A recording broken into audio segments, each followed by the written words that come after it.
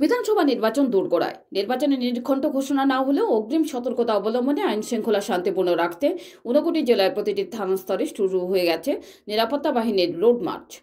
জেলার police super Kanta Jahangir এবং মহকুমা পুলিশ আধিকারিক ধ্রুবনাথের নেতৃত্বে টিএসআর এবং কেন্দ্রীয় বাহিনীর জওয়ানরা রোড মার্চ শুরু করে ইরানি থানা থেকে। ইরানি বাজার বাবুর বাজার টিলাবাজার, লক্ষ্মীপুর হয়ে কৈলাসহর থানা এলাকা প্রেস ক্লাব রোড, পশ্চিম বাজার, পানিচৌকি বাজার নেতাজি কর্নার, সেন্ট্রাল রোড, হাসপাতাল রোড হয়ে পাইতুর বাজার এলাকায় গিয়ে শেষ হয়। পুলিশ সুপার জানিয়েছেন, ফটিকরায় কুমারঘাট এবং পেজারথল থানা এলাকাগুলোতে রোড মার্চ করা হবে। ভোটকে কেন্দ্র করে ইতোমধ্যেই জেলায় অতিরিক্ত কেন্দ্রীয় বাহিনী আসতে শুরু করেছে।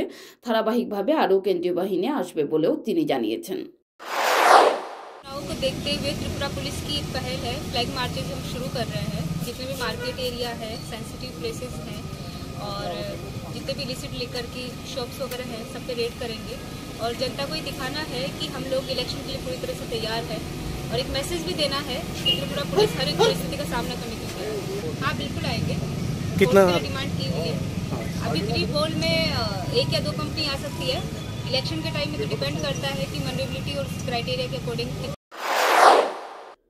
रिपोर्ट चैनल दिन रात